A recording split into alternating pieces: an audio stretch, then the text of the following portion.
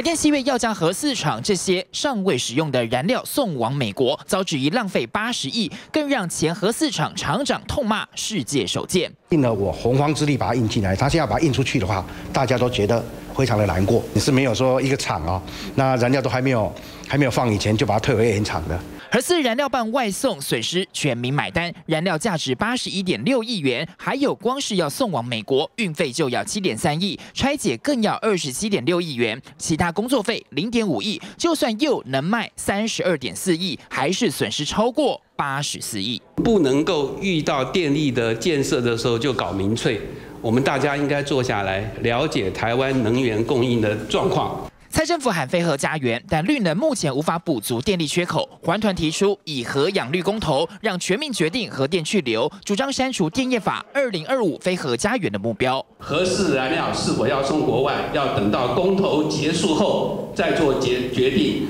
或是再生能源的发展已臻成熟，足以替代核能之日，好，我们再把核四的燃料做外送，好。专家认为，二零二五飞核家园要让台湾付出太多代价，而且核四燃料棒是否要送到国外，也得等年底公投结束后再做决定。否则，就算亏钱把燃料棒外送，未来就算要跟美国买，还得排队等三年。能源政策不该民粹，得拿出实质做法，才能避免缺电危机一再上演。就黄明俊家园台北报道。